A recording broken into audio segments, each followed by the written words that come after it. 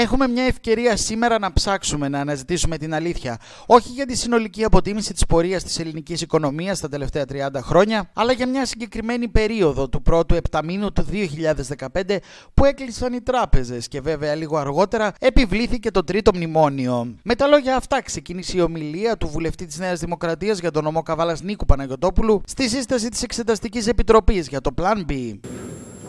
Και βέβαια εξελίχθηκαν όπως εξελίχθηκαν με την επιβολή του Τρίτου Μνημονίου. Ας εργαστούμε λοιπόν μαζί στα πλαίσια των ευκαιριών που μας δίνει η κοινοβουλευτική διαδικασία και η συνταγματική διαδικασία για να βρούμε την αλήθεια σε μια πολύ συγκεκριμένη και ειδική και περίπλοκη υπόθεση με περίεργες, αν όχι επικίνδυνες προεκτάσεις για τη χώρα ακόμα και για το ίδιο το δημοκρατικό πολίτευμα.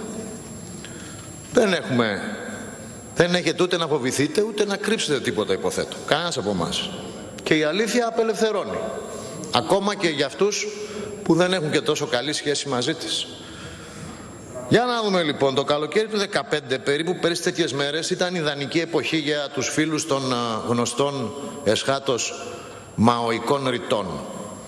Είχε προηγηθεί η συμφωνία της 20 Φεβρουαρίου μερικούς μήνες πριν και η έναρξη της σκληρής ασυμβίβατης ασυμβίβαστης αλλά εν τέλει όχι και τόσο ευμενούς για τη χώρα διαπραγμάτευσης.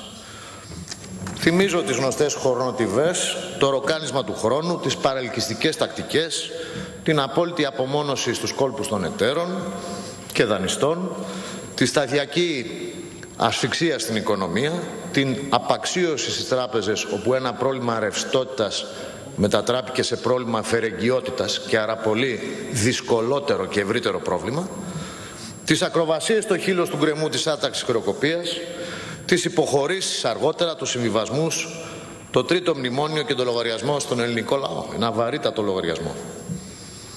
Η κυβέρνηση διαπραγματεύτηκε το μέλλον της χώρας με χαρτοπεκτικούς κυριολεκτικά όρους. Μπλόφα, ρέστα, ταπί και ψύχρεμη. Θυμίζω κάποιες λεπτομέρειες, δικαλώ να τα θυμίζουμε.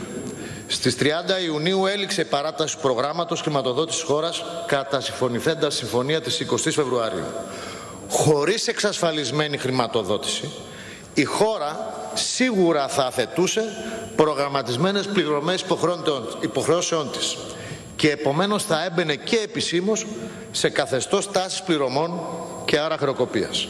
Χωρίς καμία χρηματοδοτική ομπρέλα η Ευρωπαϊκή Κεντρική Τράπεζα δεν θα μπορούσε να διατηρήσει τις ενές ρευστότητας στο τραπεζικό σύστημα της χώρας που ήδη ασφικτιούσε από το γνωστό έλα τον μηχανισμό παροχής ρευστότητας ε, έκτακτης ανάγκης. Η διαπραγμάτευση όδευε, οι ενδείξεις υπήρχαν ότι όδευε σε πορεία ρήξης, το πακέτο Juncker τελούσε υπό απόρριψη, ήδη επίκειτο η προκήρυξη δημοψηφίσματος και είχε ήδη συντελεστεί η φυγή των καταθέσεων που έπαιρνε χαρακτήρα μαζικό.